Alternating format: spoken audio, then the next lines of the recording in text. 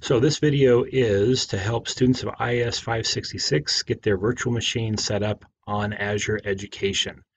So I'm going to start off by coming to Azure Education. Here's the URL, azure.microsoft.com slash en-us slash education.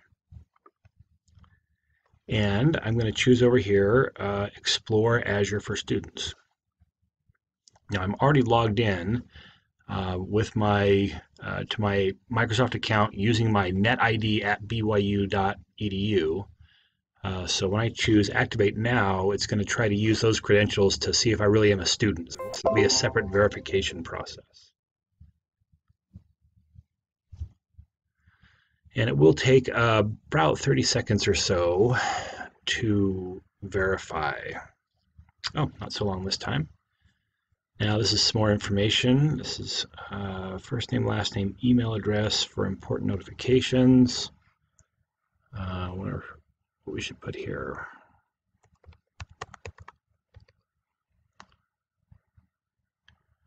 Uh, phone number.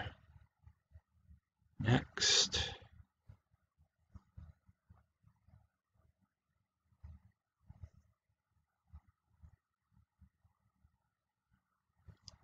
I agree to whatever they're saying. Wonderful.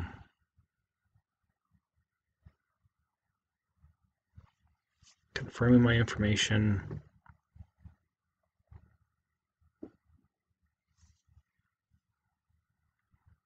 And it looks like I'm in.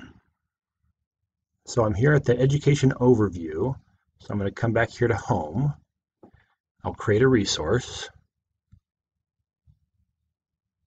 And that will be uh, compute, make a virtual machine,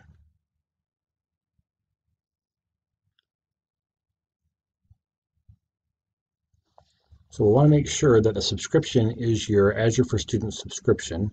Depending on how you're logged in and where you're logged in, there may be other options here. So just make sure you're using the Azure for Students. Uh, and then we'll need a resource group. You probably don't have one here yet. Uh, so we'll create a new one. I'm just going to go ahead and call mine IS 566.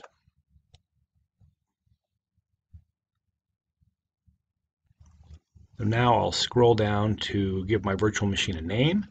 I just want um, students, I want you to name this your actual name. So I'm going to put here my name, gove-allen.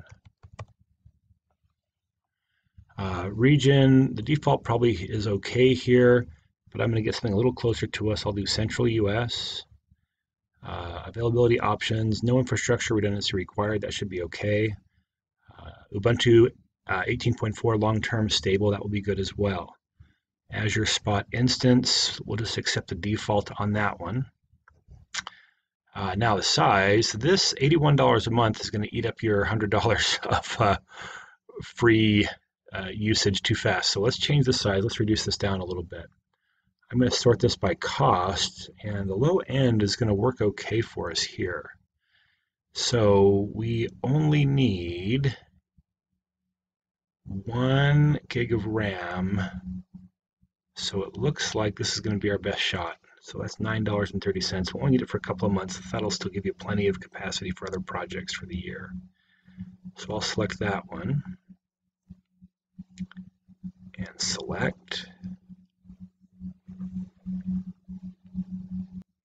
Right, we'll set up an SSH public key uh, in a later video. For now, let's go ahead and create um, a username and a password. The username I want you to create is student, and that's what you'll do all of your work under, so that when I attach onto your machine and uh, look for what you've done, I'll be able to find your work. Then you'll choose a password that you'll be able to remember for that account.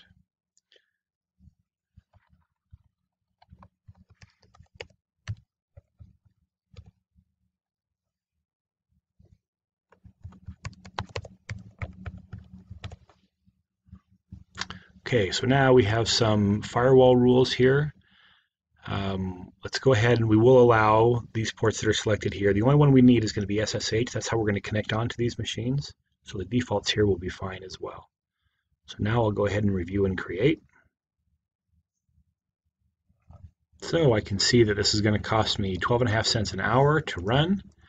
Um, this looks okay. I'm going to go ahead and click create. And that'll take a little bit to actually build and deploy.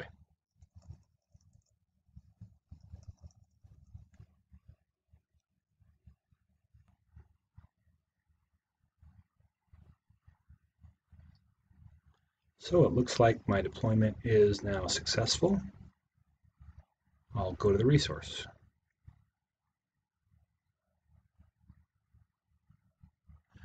Okay, so I'm going to connect onto this with an SSH client. So I'm going to copy the public IP address.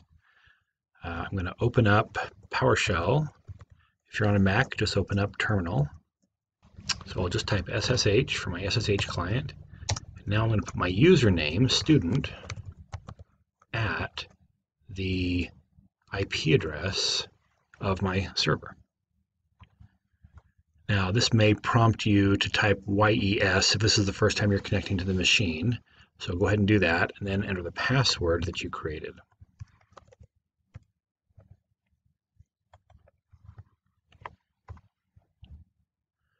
Uh, and then we're authenticated. So that should be what it takes to get us set up.